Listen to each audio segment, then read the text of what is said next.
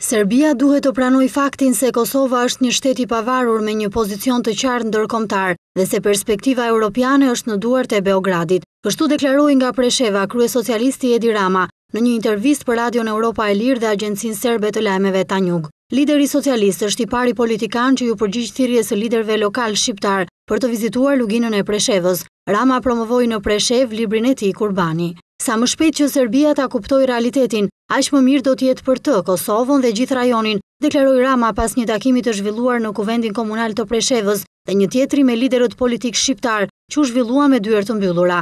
Sipas kreut të opozitës, Shqipëria nuk ka asgjë për të diskutuar me Serbinë për Kosovën, pasi njohja e Kosovës si një shtet i pranuar ndërkombëtarisht është një realitet i pakthyeshëm. I pyetur se kur besonte se Serbia dhe Kosova do të bëhen pjesë e Bashkimit Europian, Rama tha se vendimi është në duart e Beogradit. Vendimi për këtë çështje do të merret në Beograd, por ne duhet ta dimë të gjithë se perspektiva e vetme për Serbinë, Kosovën dhe Shqipërinë është ajo europiane, theksoi kreu i Partisë Socialiste.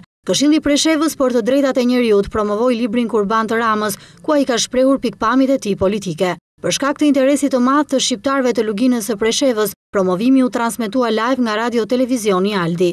Rama pati takime me dyer të mbyllura me përfaqësues të autoriteteve lokale të kryesuara nga kryetarët e komunave të Preshevës dhe Bujanovcit, Ragmi Mustafa dhe Saip Kamberi.